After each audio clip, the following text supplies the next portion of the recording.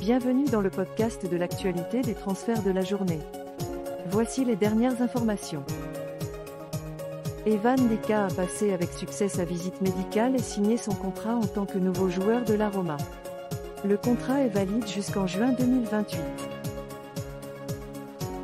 L'annonce officielle est prévue la semaine prochaine, mais tout est déjà conclu. Ndika rejoint la Roma en tant que joueur libre, en provenance de l'Eintracht Francfort. C'est une nouvelle signature importante pour le club, après l'arrivée de Ferran Jutgla l'été dernier. De plus, Victor Barbera, attaquant du FC Barcelone, rejoint le club Bruges également en tant que joueur libre. Barbera, né en 2004, a signé un contrat à long terme jusqu'en juin 2027. Une exclusivité, West Ham est sur le point de nommer Tim Stetten en tant que nouveau directeur technique. Les sources proches du club confirment que l'accord est conclu, et presque scellé. L'ancien directeur du Bayer Leverkusen va ainsi tenter une nouvelle expérience en Première Ligue, après avoir également été considéré par Tottenham. James Milner a officiellement rejoint Brighton en tant que joueur libre, après avoir passé de nombreuses saisons à Liverpool. Son contrat est valide jusqu'en juin 2024. Jude Bellingham est officiellement un joueur du Real Madrid, comme l'a annoncé le club aujourd'hui. Le Borussia Dortmund percevra une indemnité de transfert garantie de 103 millions d'euros, auxquels pourront s'ajouter jusqu'à 30,9 millions d'euros de bonus. Les bonus sont fonction des performances et des titres remportés par Jude et le Real. Son contrat est valide jusqu'en juin 2029, soit une durée de 6 ans, avec un salaire d'environ 10 à 12 millions d'euros nets par saison à Madrid. Sa présentation est prévue pour jeudi en tant que nouvelle recrue du Real Madrid. Le club est convaincu qu'il sera certainement l'un des meilleurs milieux de terrain de sa génération. Bournemouth est en discussion avancée pour recruter Justin Kluivert de la Roma. Il s'agit d'un transfert permanent et les négociations progressent avec le directeur de la Roma, Thiago Pinto, qui est en Angleterre cette semaine. David Raya a accepté tous les détails de la proposition de contrat de Tottenham, et les termes personnels ont été convenus. Les discussions entre les clubs se poursuivent pour réduire le prix demandé de 40 millions de livres sterling. Tottenham est sur le coup, mais Chelsea, malgré les rapports, n'a pas rencontré son agent il y a deux semaines. Sunderland a officiellement signé Joe Bellingham, le frère cadet de Jude Bellingham.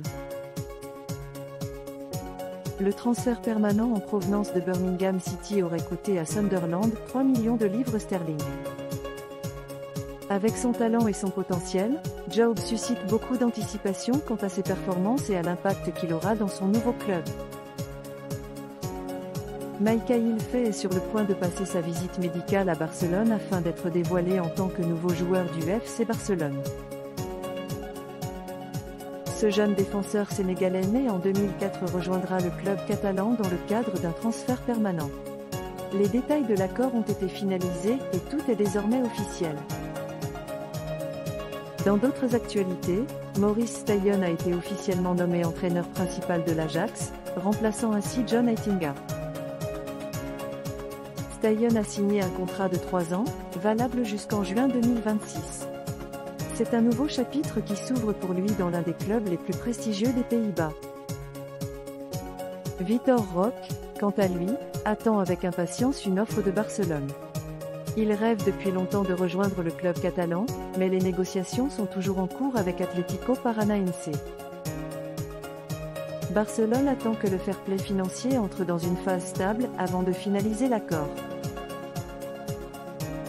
Le président du Barça, John Laporta, a déclaré « Nous devons continuer à réduire la masse salariale pour constituer une équipe compétitive ». Il a également ajouté « Nous continuerons à faire des efforts, et nous y parviendrons. Nous avons réussi à faire approuver notre plan de viabilité pour les deux prochaines années par la Liga ». Toujours dans l'actualité des transferts, l'Inter Milan et Chelsea ont tenu leur réunion d'ouverture comme prévu. L'Inter a exprimé son intérêt pour Romelu Lukaku et Kalidou Koulibaly, demandant leur prêt.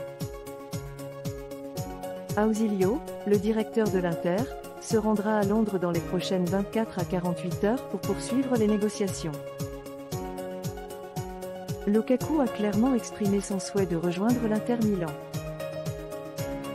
En Angleterre, Manchester United explore actuellement d'autres options pour un nouvel attaquant alors que le dossier Harry Kane est dans l'impasse. Le club estime que Tottenham n'a jamais eu l'intention de vendre Kane à United et n'a aucune intention de s'engager dans une saga qui durerait deux mois. Rasmus Ojlund fait partie des noms envisagés dans la liste des attaquants de United. La recherche d'un attaquant adéquat se poursuit alors que le club cherche à renforcer ses options offensives. C'est tout pour les dernières mises à jour sur le marché des transferts d'aujourd'hui. Restez à l'écoute pour plus d'informations et de développements passionnants sur Balanga Foot. Rejoignez-nous la prochaine fois pour découvrir les dernières actualités du monde du football. N'oubliez de vous abonner si vous aimez nos contenus.